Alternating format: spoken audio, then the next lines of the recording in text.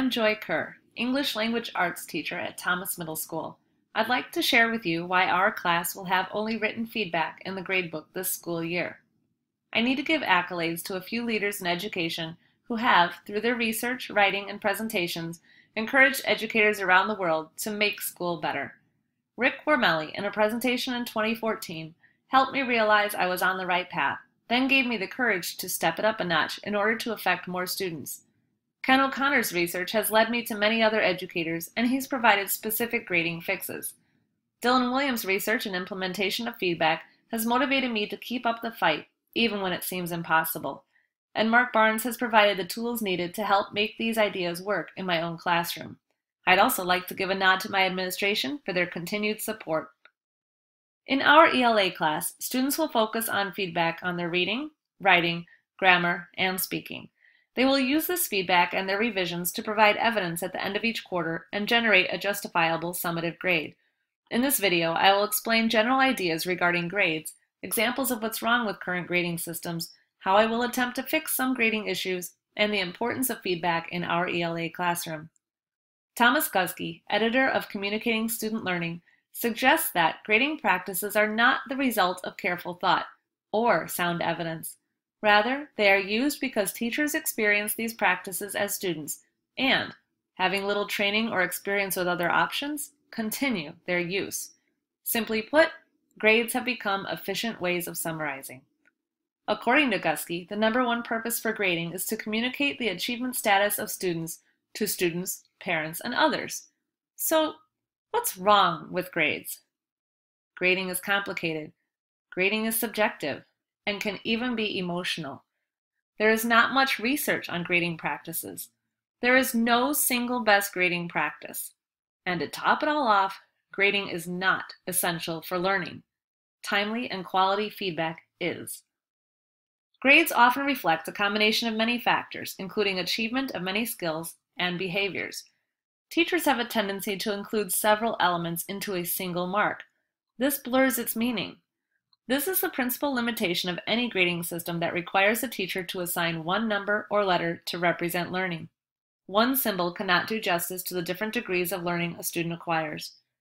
In many instances, students who do not comply with teachers' deadlines or parameters for neatness get marked down, and the grade no longer reflects what the student knows about the subject. Pop quizzes ambush students, adding stress to their lives and may even encourage them to cheat. Students who know the material are often penalized for not doing assigned practice work that they, frankly, may not need to spend time doing.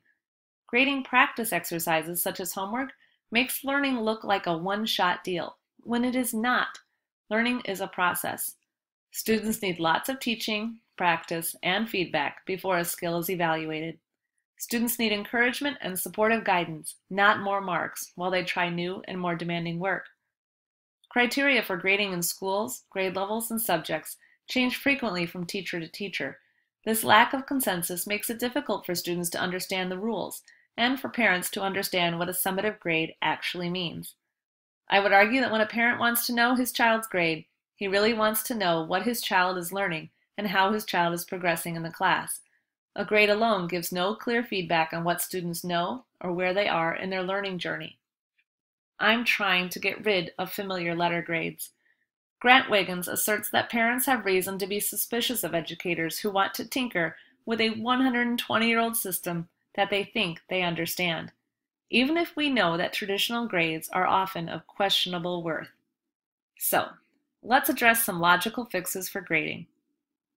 Reports or student progress and achievement should contain information that indicates academic progress and achievement separate from punctuality attitude, effort, attendance, and work habits. I will be giving feedback on standards and tracking behaviors and addressing them if needed separately. Since our district started digging into the Common Core standards, I have had a major shift in thinking. Under this system, when I design an assessment, I think in terms of the standards it is intended to address. If a writing assignment is given that covers three standards, then I make three entries in the gradebook for each student, one entry for each standard, as opposed to one overall entry for the entire piece of writing. The difference in my gradebook is that students and parents will see written or even recorded feedback instead of marks. Of course, we will have multiple opportunities to learn various skills. Students who fail to meet standards will have the opportunity to revise and get more feedback on their work. More reading, writing, and speaking will help make my students better readers, writers, and orators. Students will be heavily involved in the grading process. In order to incorporate these ideas, we will need to emphasize the value of feedback in our class. There is well-researched evidence that marks on student work do not help in the same way that specific comments do. Dylan Wiliam explains by showing through his research what feedback works best. Students were given marks, both marks and comments, and comments only. Those who showed growth were the students who received only comments.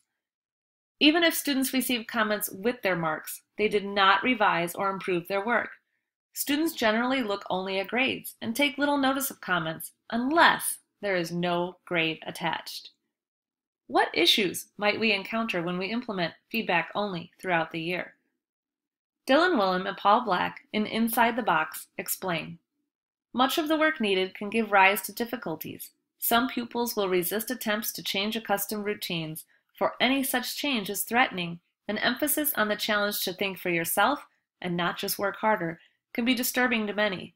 Pupils cannot be expected to believe in the value of changes for their learning before they have experienced the benefits of change.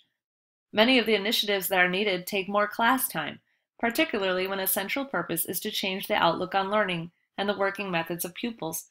Thus, teachers have to take risks in the belief that such investment of time will yield rewards in the future, whilst delivery and coverage with poor understanding are pointless and even harmful. They also assert pupils are generally honest and reliable in assessing both themselves and one another, and can be too hard on themselves as often as they are too kind. However, Pupils can only assess themselves when they have a sufficiently clear picture of the targets that their learning is meant to attain. Surprisingly, and sadly, many pupils have become accustomed to receiving classroom teaching as an arbitrary sequence of exercises with no overarching rationale. It requires hard and sustained work to overcome this pattern of passive reception on the teacher and the student's parts. When pupils do acquire such overview, they then become more committed and more effective as learners. Their own assessments become an object of discussion with their teachers and with one another, and this promotes even further that reflection on one's own ideas that is essential to good learning. The students and I will spend time learning how and then providing feedback about the particular qualities of each student's work, along with advice on what he or she can do to improve. In order to achieve this, we will nurture a classroom culture of questioning and deep thinking in which students will learn from shared discussions with one another. At the end of each quarter, each student and I will look at the evidence and ask, what information provides the most accurate depiction of this student's learning at this time? We will look for consistency in the evidence we've gathered. We must decide what evidence or combination of evidence represents the truest and most appropriate summary of the student's achievement in reading, writing, grammar, and speaking skills. We will use this evidence to come up with one letter grade to put on the progress report. At this point, my hope is that students and parents realize that being able to recognize and reflect on strengths and struggles is more important than one symbol that cannot do justice to the different degrees of learning a student acquires. For more information or specifics on our processes in ELA class, contact me directly, check out our website, and feel free to explore these resources.